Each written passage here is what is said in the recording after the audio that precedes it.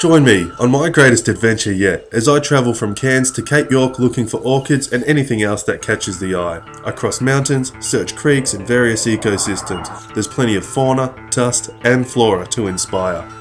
I come across orchids how they were meant to be seen. colonies, uh, full mature plants and fruit, uh, various seedlings and everything in between. Throw in some more dust, a few trees I wish I could climb, and a couple locals, you've got yourself an adventure worth coming on.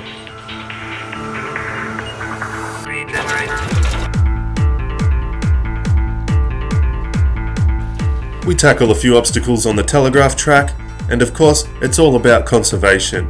We show you how to support epiphytes as well as look for them.